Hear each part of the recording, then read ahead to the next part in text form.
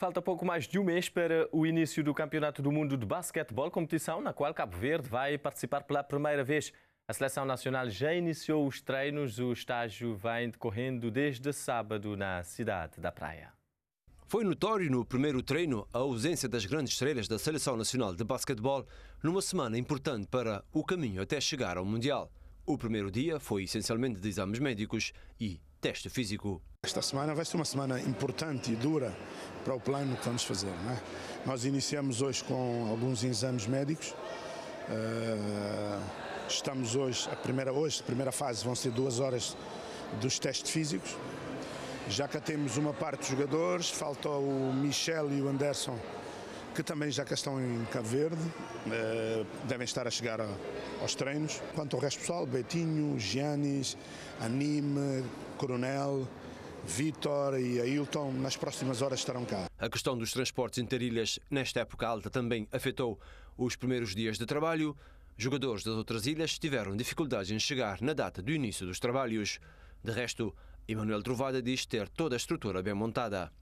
Eh, está a ser difícil conseguir tirarmos os nossos atletas que estão nas ilhas, derivado ao problema eh, que está a atravessar neste momento das companhias, no caso da, da Vestifly está com um avião, mas graças a Deus já conseguimos resolver essa questão para mim que estava, eles já deviam cá estar a, a, e, e, estava a ser para nós uma, um maior problema. Mas do resto está tudo bem, a estrutura bem montada, um grande esforço feito pela Federação uh, para que pudéssemos aqui estar.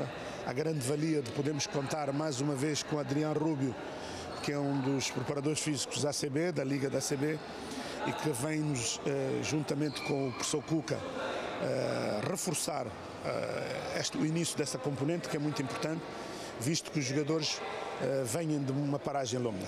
Fora das quatro linhas, as questões da logística preocupa também. Mané espera ter conforto para pensar apenas nos treinos. As ausências do primeiro dia foram colmatadas por jovens sub-23. A história já está feita, vamos estar no Mundial. Sabemos que somos o, último, como vimos a lista, se não nos incomoda.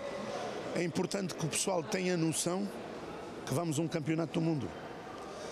Uh, e é, é fundamental que todas essas questões estejam preparadas para que eu, técnico, para que os jogadores simplesmente pensemos no nosso trabalho e é isso que a Federação está a fazer, está a fazer um esforço grande para nos proporcionar as melhores condições e eh, que apenas o nosso foco esteja na preparação.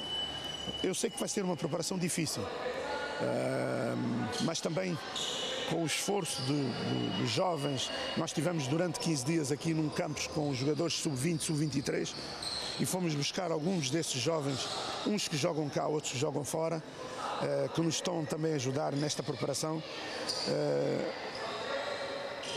no tempo que os outros atletas que já deviam cá estar ainda não, não cá estar. Edi Tavares, a maior estrela da seleção nacional, foi a ausência mais notada. Big Edi teve uma época longa e teve de ser reavaliado pela equipa médica do Real Madrid, mas Mané garante que o posto maiense vai estar no Mundial. O Edi é, é, é um jogador que terminou o seu campeonato no dia 20 por norma, por norma de recuperação, ele tem direito a quatro semanas de recuperação, que é dia 20.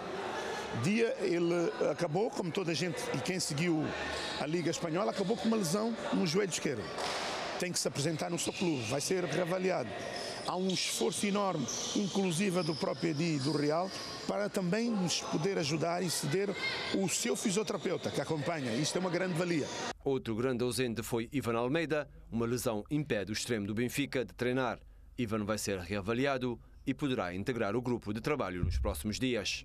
O Ivan, pronto, o Ivan uh, em conversa, uh, o que eu vos posso dizer é que ele vai fazer uma ressonância para avaliar a questão provavelmente vai ter que ter a necessidade de fazer uma infiltração, segundo a informação dele, mas nos próximos 4, 5 dias vamos ter por cá o Ivan. Ele é uma pessoa, como vocês já sabem, um atleta uh, supera. Uh, supera uh, sempre essas expectativas e é uma pessoa que sempre durante a vida foi um lutador. Por isso, esperemos que não seja nada grave, para que possa estar aqui, porque ele bem merece também ir ao Mundial. No primeiro dia de trabalho, A seleção recebeu de uma empresa local vários suplementos e material de fisioterapia para ajudar na preparação que vai de 15 de julho a 3 de agosto na cidade da Praia, antes de partir para o estágio no exterior.